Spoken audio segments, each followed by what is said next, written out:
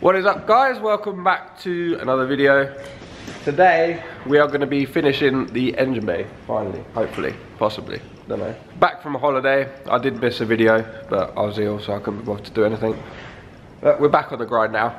I'm still quite ill, but we've got to get it done. Today we're going to take the engine back out and then we're going to weld the reinforcement plates on the side and clean it all up and paint it all with all the paint and then we can finally put the engine back in.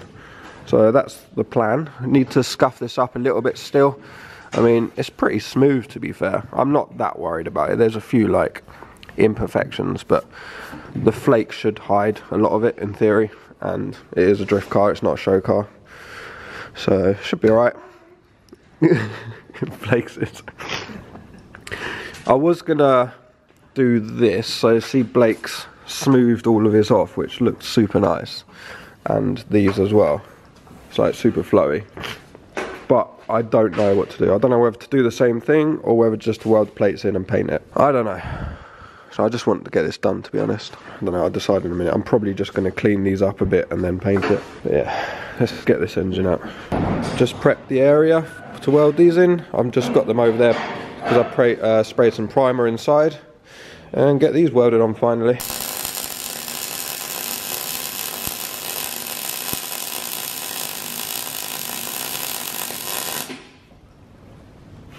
Jeez!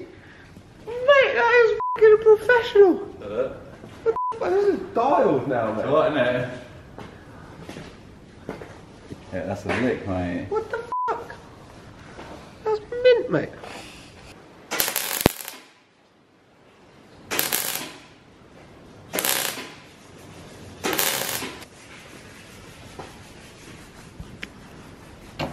Not bad. Quite smooth, isn't it? Nice little touch in it, nice little touch in it.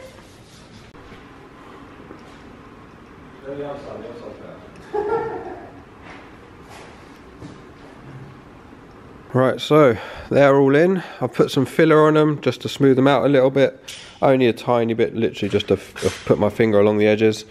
And then I sprayed some zinc primer on there to stop rusting. Um, but yeah, it's getting there. If it focuses, there we go. Looks quite good to be honest. I bent them all down so they fit nice.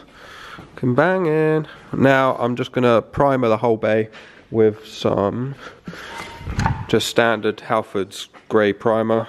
Again, if it focuses, there we go. Just for some of this. And then we'll come here on the next day and then we'll actually paint it and I'd need to mask everything up properly but I won't do that until I use the actual um, spray gun. For now I'll just be careful. I've masked up, well, put some rags over the main bits. But yeah, let's, primer it now. There we go, she's all one colour. It's the first time it's been one colour in a while. Looks pretty fresh. Quite happy about turned out. Um, yeah, so next stage, mix up all the paint and then paint it. Sweet as. Right, so we came up last night, set up our amazing DIY um, paint booth. It's, I mean, it should do the job. It's just not to get paint on the cars, basically.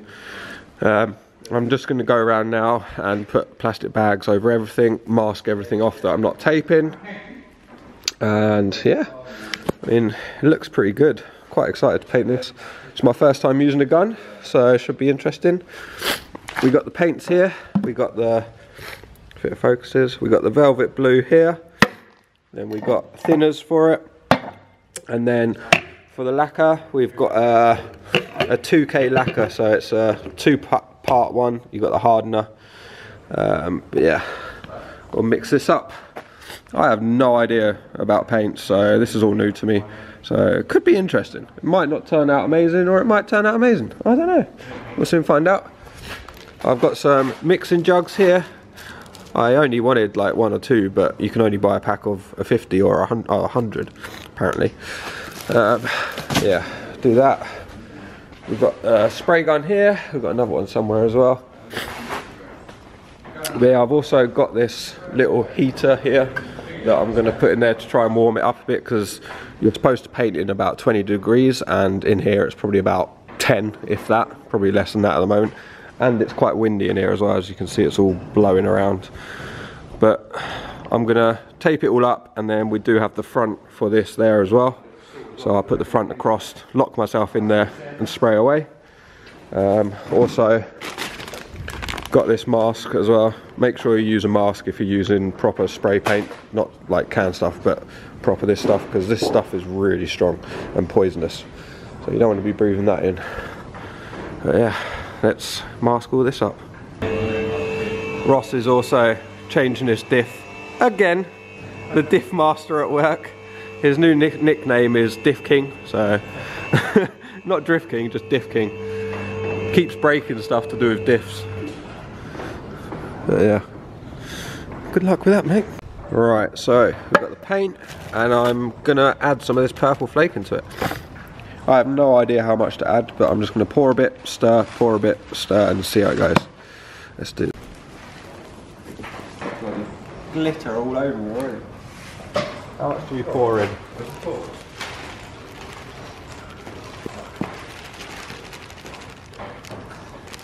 Do that? Should I just do a little bit at a time? Like my stirring. That's the lick, mate. Such a nice colour. You can see it like reflecting already. Send it! You never have too much pearl, can you? Professional. Oh, and you see that? Oh, that's sick. Send it! It's gonna be more pearl than fucking paint.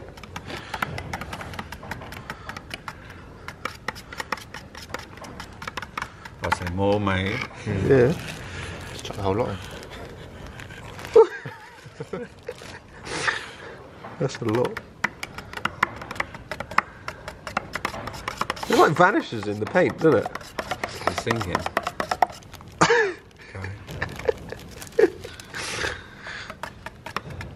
Only one way to find out. Yeah, it's gonna look It'll, good. it'll get clog in the gun. You can't see it. Lift it up and drip it off.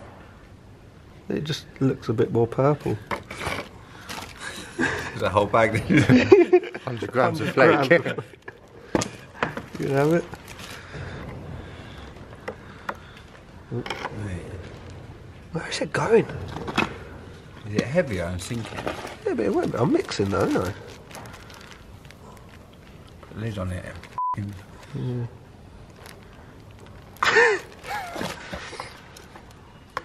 Good job we're adding thinners to this. I, when I'm mixing it, I can see reflections of like purpley pink. It looks purple, doesn't it? Yeah, like you can see little glitters, but not a huge amount.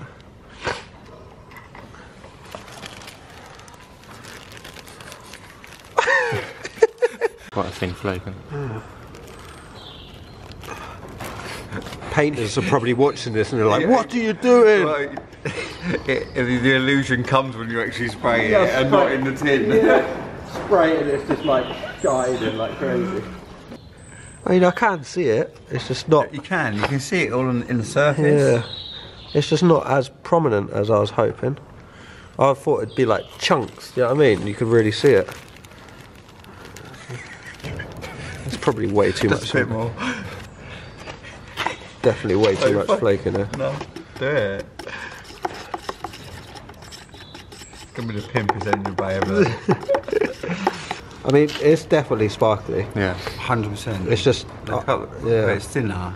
yeah, Should probably bought a bigger flake. yeah. No, this- it I looks think really when you, fine. Once that's sprayed out on a th- in, in like a, go for it. Send it. It's my birthday. Here we go. So this is my little spray booth. We've got a heater in there as well, just warming it up. It's actually, considering all of the gaps, it's actually way warmer in here than it is out there, which is good. I've just blown it off, got rid of all the dust. And yeah, oh wait, I still need to cover in there. Forgot about that. Don't want to paint the wheel blue as well. Uh, yeah, time to set the gun up. See how this turns out. Right, so I've just done some test runs in there. Gun's working alright time to paint. I can't really film while painting, so what I'll do, I'll just give you an update in a minute once I do one coat. Here, here we go. Going.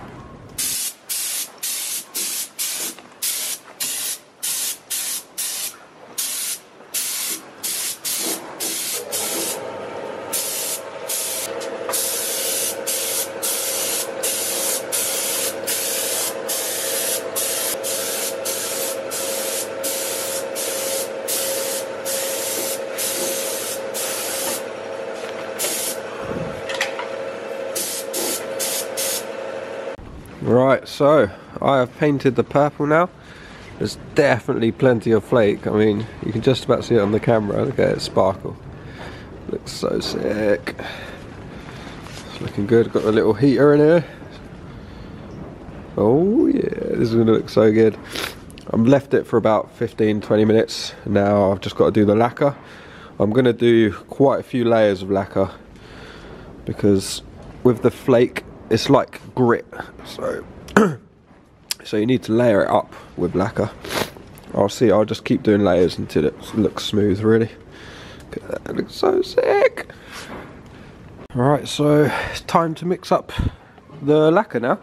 Um, with this lacquer, it's let me have a look.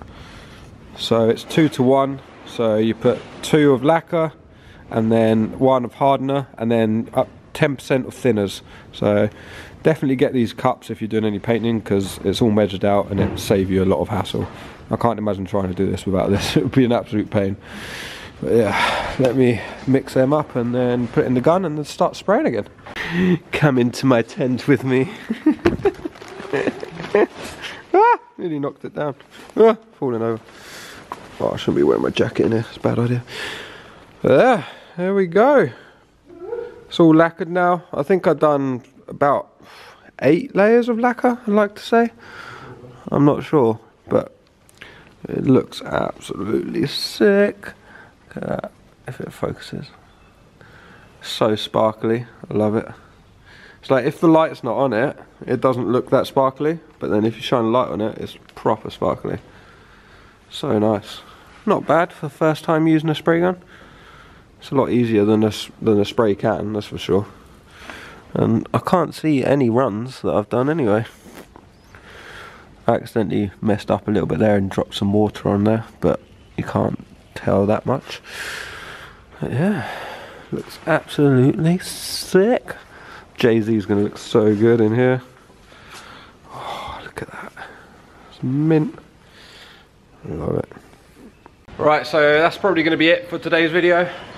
Quite happy with how it turned out. That's my first time ever using a spray gun. I had no idea what I was doing, to be completely honest. Uh, but seems to work out all right. It's all dry and nice. No reactions. Um, there's only I found one small little run on the lacquer, but it's going to be hidden anyway, so I'm not that bothered. There's a few spots where like dust has landed on it, but I mean, we're working in a, a dusty warehouse. It's impossible to get it perfect. But pretty happy with it turned out, to be fair. Oh, looks so good. Got the heater in here, just letting it cook. Surprisingly, it's actually quite warm in here. I would have thought it wouldn't get warm because it's not sealed, but it's quite a bit warmer. Oh, it looks so good. Look at it, fresh. But yeah, on there there's a few little bits of dust, but I'm not too bothered. Here's what it is. Here's what it is, mate. Ross making loads of noise. Yeah, next week the JZ will be going in finally, so I'll probably do a video on fitting all the adapter kit for the gearbox and clutch and everything. Um, and then yeah, it'll be able to go in and hopefully not come back out. I'm sure that's, yeah, I'm pretty sure it'll come back out. not unless I miss something. Um, but yeah, hope you enjoyed the video. Make sure you like, comment, subscribe, and I'll see you in the next one. Goodbye.